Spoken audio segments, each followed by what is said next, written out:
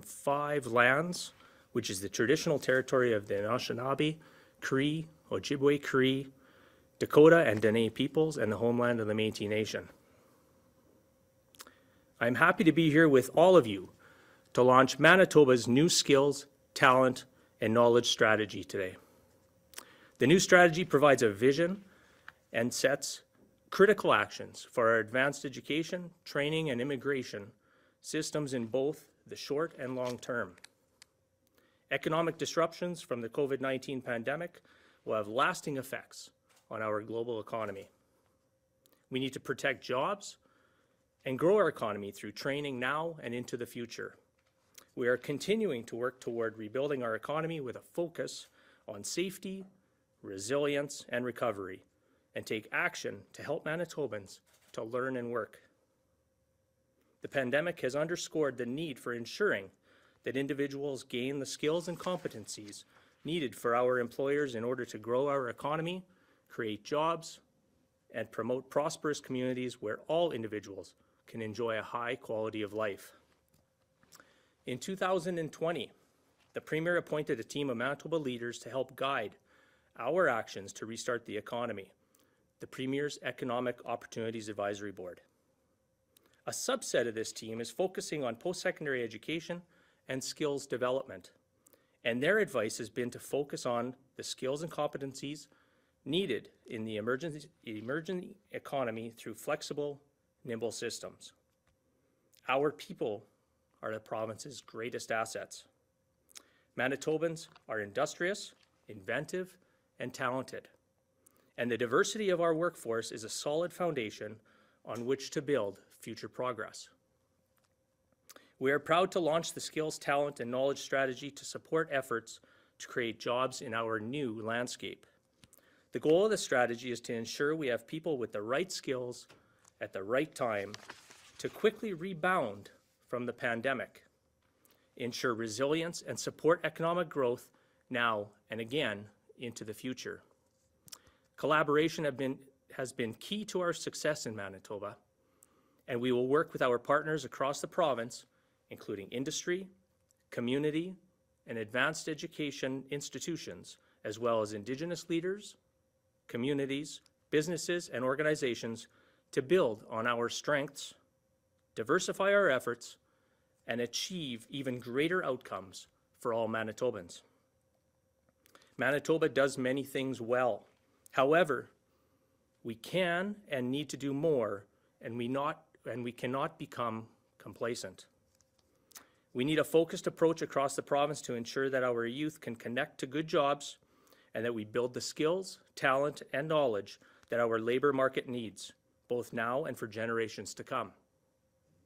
Our post-secondary institutions want to work collaboratively with government and employers on a positive vision for the future.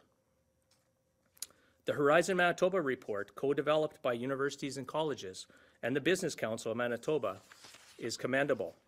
The initiatives in their report will help to further many elements in Manitoba's new skills, talent, and knowledge strategy.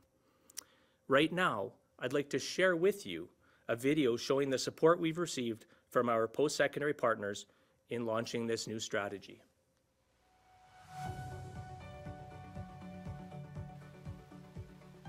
Hello, I'm James Curry, President and Vice Chancellor of the University of Winnipeg. As a mostly undergraduate university, we teach our students the fundamentals, which are the building blocks of advanced knowledge and skills. To earn an undergraduate degree, students learn how to solve difficult problems, communicate clearly, conduct research, and think critically. These are durable, future-ready skills that professionals rely on throughout multiple careers. Our students also get job experience while attending university through partnerships with industry leaders, like in our theater and film program. We offer master's programs aligned with the needs of industry and graduate innovators who will drive Manitoba forward. The jobs of tomorrow may be different than today, but the fundamentals will remain the same. Change is constant and unpredictable, but our grads will find their way and succeed because they have mastered durable skills and knowledge. À l'Université de Saint-Boniface, anticiper les besoins et les compétences nécessaires pour l'avenir de notre communauté est au cœur de notre mission. Depuis ses débuts, l'USB joue un rôle de premier plan dans la croissance et le développement linguistique, culturel, social et économique de la francophonie manitobaine. Nous travaillons avec la communauté et nos partenaires pour que nos programmes continuent de répondre aux besoins sur le terrain.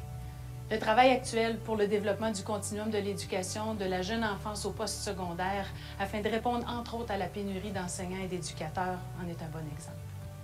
Nous faisons un travail similaire dans le domaine de la santé pour former les professionnels bilingues dont nous avons tant besoin. Ce sont là que deux exemples du grand apport de l'USB à la société manitobaine, une mission toujours d'actualité que nous accomplissons avec fierté depuis 200 ans. Every day, the most important task we face at the University College of the North is making sure our programs and services are relevant and responsive to the needs of both our students and the Northern workforce. And employers are telling us loud and clear, a skilled workforce is a necessity, not a luxury. So building bridges and creating alignment between education and training and the world of work is critical. Students need to know their education and training will lead to good jobs. Employers need people with skills to grow and prosper. When you're a college like Assiniboine and you're hardwired to the community, aligning your programs to the labor market is second nature. Whether that's adapting programs based on 35 plus program reviews we've done over the last five years, or adding new programs like we've done through our Center for Animal Proteins as a result of trying to address that one in five jobs in the agricultural sector will go unfilled by 2025. This is the work that colleges do day in, day out. The University of Manitoba continues to advance the economic success of our province through world-class research and innovation. Industry partnerships exist throughout our faculties and U of M fosters entrepreneurship and supports commercialization through the Stu Clark Center for Entrepreneurship and the Indigenous Education Business Partners, as well as our Partnerships and Innovation Office, the Manitoba Industry Academia Partnership, and North Forge, all located in the Innovation Hub behind me. With all our partners, we continue to expand opportunities for students to build entrepreneurial and innovative skills and become the success stories of today and tomorrow. Hi, I'm David Docherty, President of Brandon University. We are pleased to welcome this report, especially to recognize our important regional differences in supporting innovation and entrepreneurship. As Manitoba's premier regional university, BU is proud to welcome 80% of our students from Manitoba, with nearly 90% of those from right here in our region. Better yet, three quarters of our graduates choose to stay here, putting down roots and putting their innovative and entrepreneurial skills to work, building Manitoba's economic, social, and cultural institutions. Each one is a Manitoba success story built right here in Brandon. Manitoba's Skills, Talent, and Knowledge Strategy provides an important framework for post secondary institutions to prepare students for in demand jobs while accelerating our economic recovery and growth. As Manitoba's only polytechnic institute, Red River College's programs are uniquely designed in collaboration with employers. We are growing key industries, filling critical gaps in the labor market, and positioning our province as a destination for talent here and abroad to study, work, grow, and stay right here in Manitoba. As we continue to adapt to new technologies and economic realities, employers need a workforce trained in hands on learning, problem solving, and decision making and collaboration. This is why we are building more pathways for our students, especially our Indigenous, newcomer, and immigrant learners, to move from classroom to career and thrive. And it's why we continue to create the programs and spaces our province needs now as we work together to future proof education and strengthen industries by connecting them with their graduates trained to meet disruption in all its forms. Together, we can and will build a stronger and more resilient Manitoba.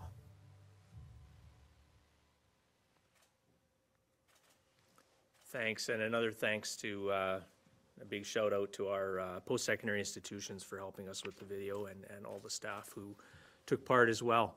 I'd like to uh, definitely make sure that all of you uh, reach out and uh, go to the website gov.mb.ca forward slash MB skills to rewatch the video. And uh, of course, there's the access to the strategy there uh, as well. So please uh, check it out.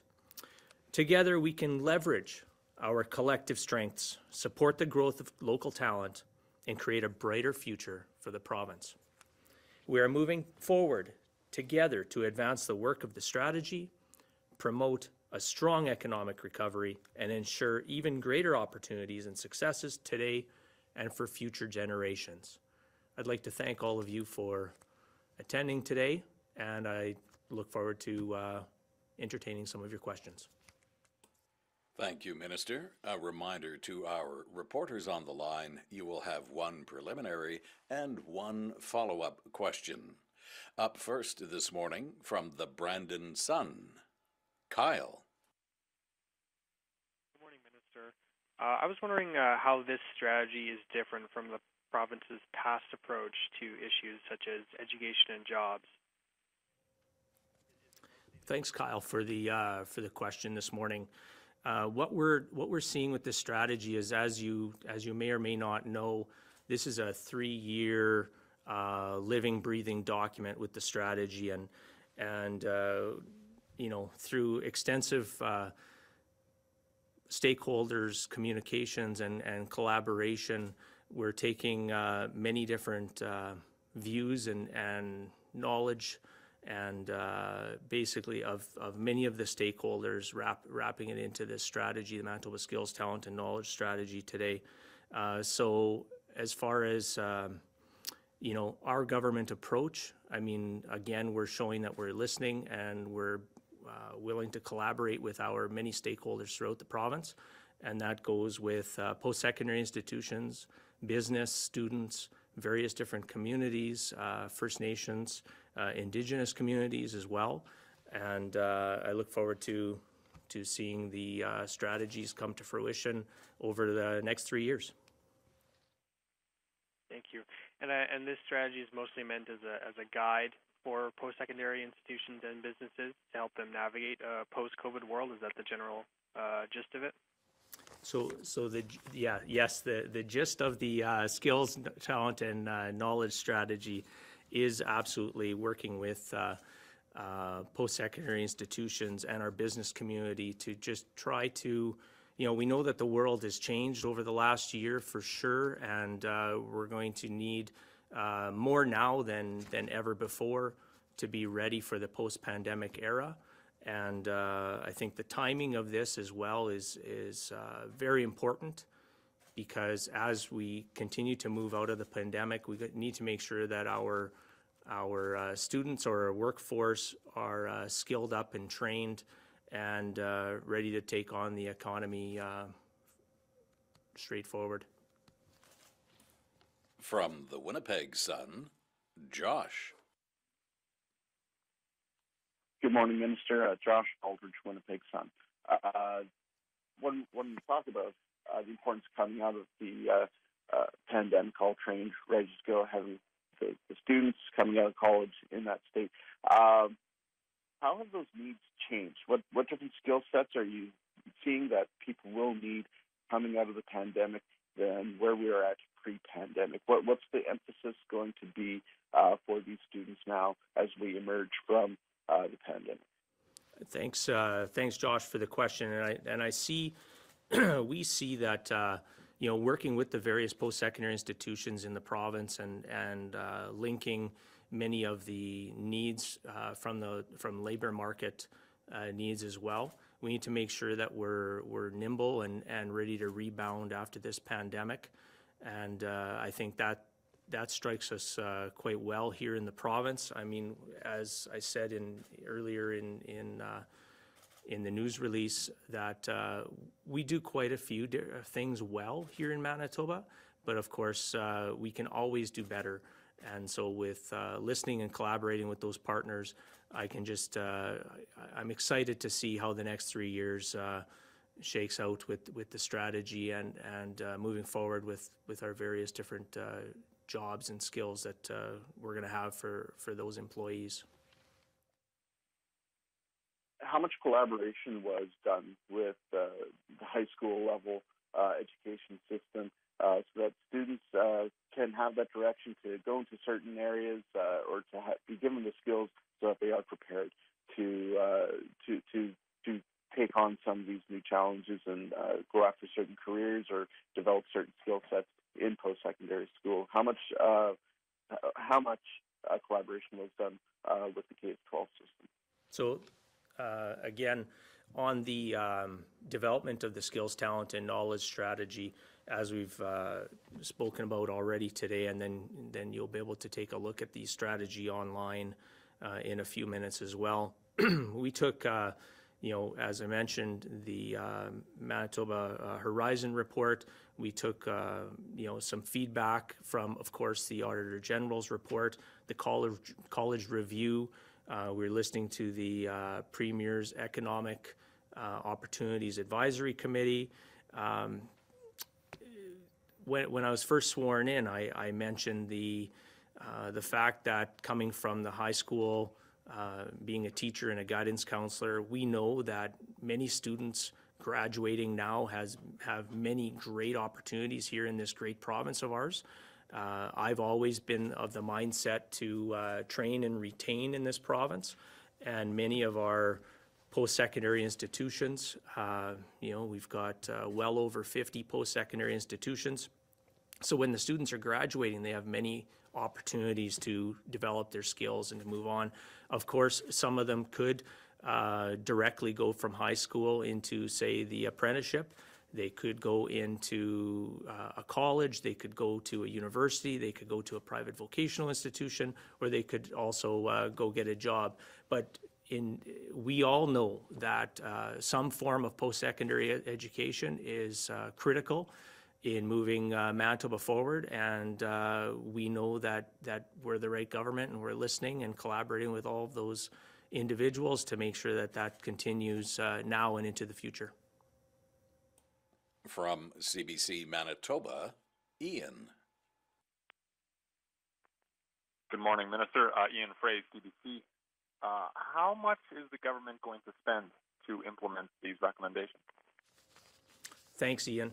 As, uh, as you know, uh, within the province of Manitoba right now, the, uh, our Department of Advanced uh, Education, uh, Skills and Immigration, we already uh, put well over a billion dollars into our post-secondary institutions. And over the next three years, as, as I've stated a few times already, this is a living, breathing document, and this is not just necessarily a uh, strategy that is particularly just embedded in advanced ed skills and immigration. This is a whole of government approach. And uh, as you heard uh, right off the get-go in my in my introductory comments, um, you know, I mentioned all the treaties, uh, the Métis, uh, all of our communities, the businesses. So east to west, north to south, this is an absolutely all hands on deck, um, the betterment of all Manitobans uh, moving forward. So that's that's the way we're going to roll this strategy out and continue to see it evolve and and change over the next three years. Uh, the government has expressed an interest in tying post-secondary institutions to a performance-based funding model. Uh, a, I guess, what's the timeline for for that, and when can we see that start happening? Okay, Ian, you, you uh, sort of, uh, I missed the, I missed a part of the question, but I think uh, where you're going was with the, uh, the funding models for post-secondary institutions. And so as, as you know, um, post-secondary institutions, much like the K-12 system, always have been asking for the uh, dollars or their budgeted amounts ready for the next school year to be released to them sooner than later. Uh, we've done that. We're showing once again that we're listening to our partners in the education world. Um, so our so we've we've sent out the uh, the budget numbers to the post-secondary institutions about a week and a half ago, and uh, again, we're, we're showing that we're listening to our partners in the post-secondary world, and uh, they've got their, their funding Uh, when it comes to the strategy and the, and the Manitoba Skills, Talent, and Knowledge Strategy, this is, again, a document uh, that we're going to be working with stakeholders and, uh, again, uh, being transparent and uh, accountable to them in, in, as well as the taxpayers. So this is a document that's going to be looking at those, um, those various different formulas and strategies moving forward over the next three years. From CTV Winnipeg, Touria. Uh, good morning, Minister. I'm wondering if you can provide any more specifics on the skills um, that are being focused on or highlighted in the strategy. Are they related to healthcare, technology?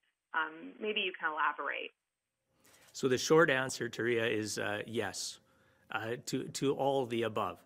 Uh, our um, this strategy again uh, was made up from many many uh, different stakeholders, listening to their feedback on creating this strategy. And because it's a three-year uh, living document, there are ambitious goals and plans within the strategy that is going to see us, uh, you know, get going right off the bat. And then as time will roll along, uh, we'll be uh, revamping and taking a look at at uh, how we're we're moving at the post-secondary level, uh, with also some feedback from those from those various other stakeholders.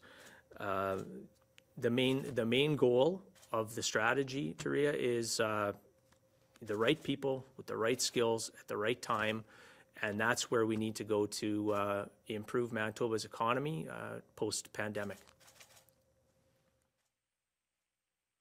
Uh, okay, thank you. And then the latest job numbers show that youth unemployment is uh, fairly high in Manitoba. So I know that the strategy is focusing focusing on skills for after you know, graduation, but it, what more is the government doing to create opportunities for students while they are still in uh, post-secondary institutions? Okay. Uh, so we know that uh, COVID COVID hit Manitoba just like it did uh, the rest of the country and the rest of the world, and I know that uh, I'm proud to be part of the part of a government that that was listening uh, and also fairly nimble when it came to our our job strategy, our workforce, and in regards to putting in those uh, extra supports uh, for not only individuals but to employers and, and various businesses. Uh, so I look forward to again working with the uh, rest of my colleagues in in government and the various other departments, uh, moving moving this forward and making sure that we've got more. Um, greater opportunities for our youth as, uh, as time rolls along here in Manitoba. And our final reporter this morning, Minister, from the Winnipeg Free Press, Maggie. Morning, Minister. I'm looking to find out how the province will be monitoring, if at all, the strategy and how it's implemented by the post-secondary institutions. Great.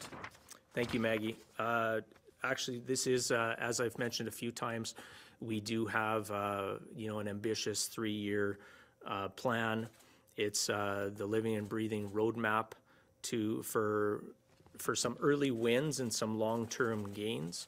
And with that, we are going to be uh, making sure that Manitobans, uh, as our government has been uh, since we were elected in 2016, showing that we're transparent and um, and accountable to the taxpayer, we're going to be making sure that this uh, document and the various different steps along the way are um, are posted as far as the different uh, strategies and and um, I guess benchmarks as we go along. So there will be a yearly support, sorry, a yearly uh, report on uh, on how we're doing.